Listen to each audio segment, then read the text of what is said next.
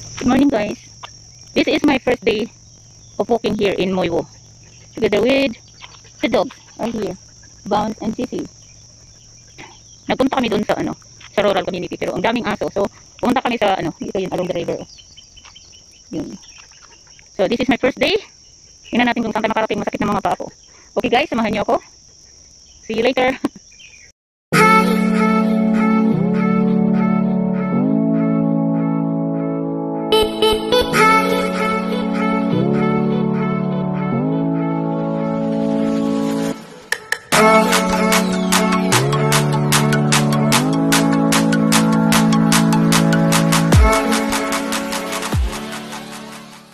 papuntang ano, Silver Mine Cave. So hindi ko pa alam 'yan. Papunta doon oh. Tingnan mo nag-start na magpagi. Tapos yun, may mga direction sila.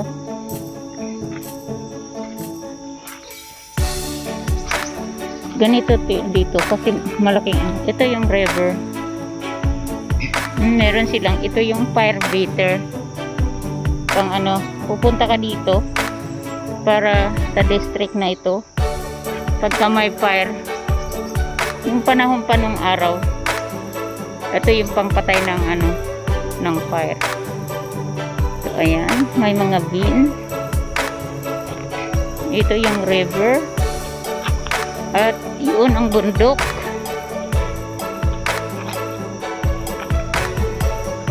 DC DC move here. Move here come Move! Dizzy! Come on here. Dizzy! Dizzy! Ito yung sasakyan dito sa Moiwo, ganyan. Tatlong gulong. Padjak. Kaya mag-ingat ka lang. Maglalakad dito kasi puro bikes. Probinsyang probinsya talaga dito. from the city. And then andito kami sa bundok. Ayan oh. Saka mostly next month ako na lang may iwan dito. Nagano lang kami naghahanap kami ng ano malalakaran na convenient kami. Kasi mahirap hindi natin alam yung mga aso pa. Don't go there on the river we don't know that, maybe the water is dirty. So, we found Ifani Church. That's, that's a nice garden. Ang ganda ng garden. Ito yung Ifani Church. JC, come here! Yung daming lamok pagoy. Retreat house. Yeah, retreat house pala to.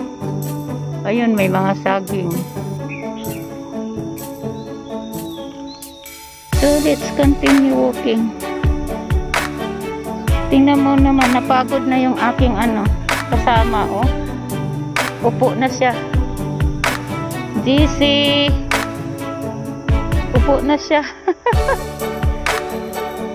Come on. Ayaw na niyang lumakad. Come on, G. Aban. Yan yung river. Hindi na kami tutuloy doon sa bundok na yun kasi next time na lang kasi nangungulimlim na. We just walk back. Hey, DC, don't go there. Come on.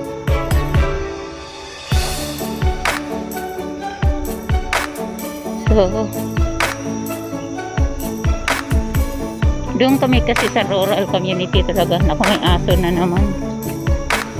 Nakakatakot pag may aso na hindi natin alam.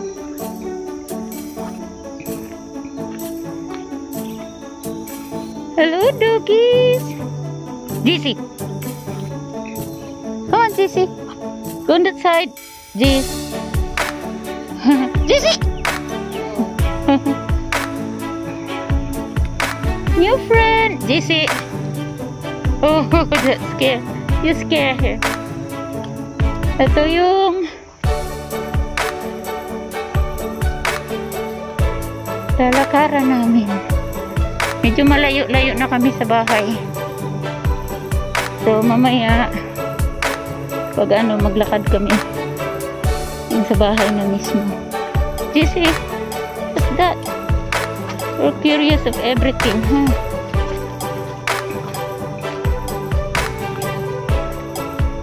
Walking along the river.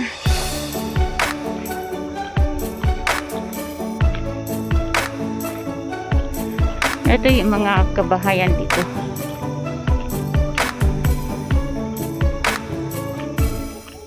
This is the other side.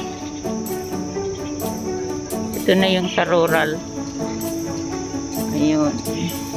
May mga sasakyan din dito pa ilan-ilan. Yun yung pinakamin doon. Yan, mga dyan. Ito yung mga street dito. So, enter the village. You have to wear the mask. Moiwo Culture and Heritage Exhibition Center. Ito yung mga street papuntang Silver Mine Beach. Yun, may, ngayon din nakakita din ng car. Oh, bye! Bye! Hmm. Ang hirap lang kasi makitid yung mga ano, mga road dito. Yan, magbabaking siya. Hmm. Come on, come on, come on.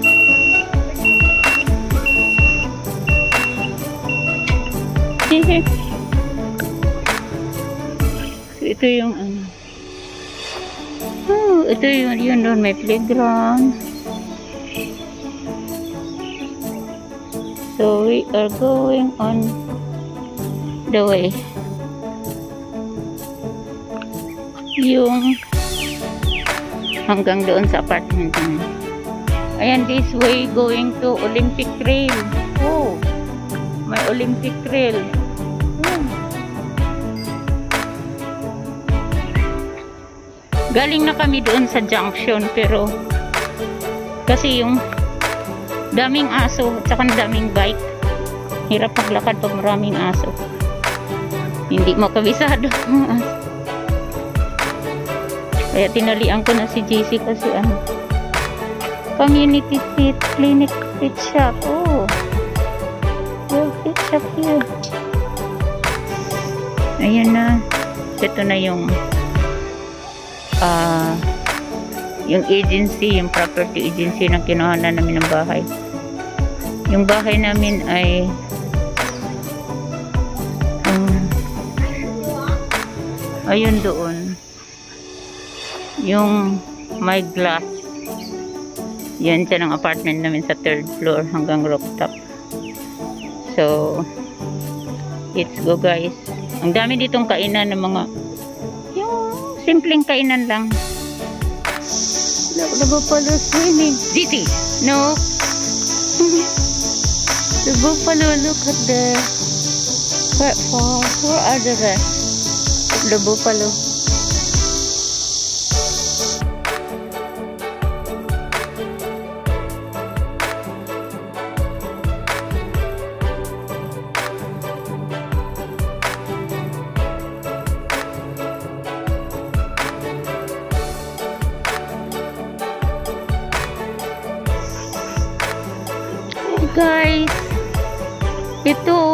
daming buffalo. Ang tataba talaga ng mga kalabaw dito.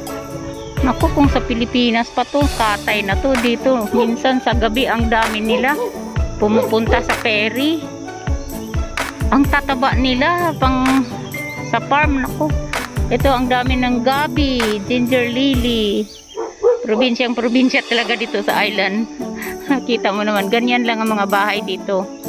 Ganyan oh ganun lang ang mga bahay dito hindi siya gaanong matataas yan hanggang ano lang siya third floor tapos may rooftop ayun ang kalabaw oh I-close up natin yung kalabaw. Kalabaw. Oh, ayan. Ano yan sila? Anim. Naku, minsan nakakatakot kasi ang dami nila talaga pag nag-ano, nagpunta sila dun sa dun sa along the river, naglalakad, wala silang pakialam sa tao. Ikaw na lang natakot kasi nga eh sa atin, 'di ba, ina sinusungay ka. Dito wala silang pakialam sa tao. Ayan siya, oh. Ayun. This is my second day dito na naglalakad. Papunta kaming Silver Mine Cave. Pero hindi ko alam kung saan yun banda. So, nag-follow lang kami sa arrow. Saka sa direction. Pero, mahirap dun pumunta mag-isa. so, ayan. Ang buffalo. Masaya silang nagkakainan dahil ang tataba ng damo. Saka dami ditong ano, bulaklak o ginger lily. Ayan. Ang babango pa naman yan. Ayan, ang dami ng ginger lily. At saka yung gabi na mau magugulay, oh. Ang dami ditong Pilipino nakatira na mga residente. Hindi naman sila nangunguha ng gabi dyan kasi napaka ano naman din, napakatukal. Nakakatakot kayong umano dyan. Pero ang dami ng gabi. Oh, gabi, gabi. Parang nasa probinsya. Sa probinsya pa yan, lalo na sa Bicol, wala nang dahon yan. ang dami talaga ng gabi. Nakakatakot lang ano dyan. Kasi baka nga ano, may sawa o ano, may malaking ahas. Dahil parang may tubig. Ang dami ng ginger lily, ang tataba oh. Okay guys, patuloy kami sa paglalakad. Yang ganyang direction. Ayan, papunta kami dyan. Tsaka dito nga pala, bounce! Ito, may sili. May garden dito. Ayan, may gabi. Papaya. Akala ko yung tao to. Yaan. Ano lang pala. Manikin. Nilagyan ng manikin. Maganda pala sa, sa ano, sorry guys mag ma, magulo kasi panay ang hatak ng ng aso. Gusto nang umuwi. Ayun may mani. May mani siya. Tapos doon banda may yung tinangkong. At saka may patula. Ayan patula gumagapang na. At luya. Hmm galing. Ganda nga. Papaya oh. Ginawa ng plat ito patula. May hinog na. Patula hinog. Oh, nahinog siya. Pero nag-sige pa rin pamumulaklak. Daming bunga. Uy, uh, na, tsaka daming okra oh, sa tabi-tabi okra.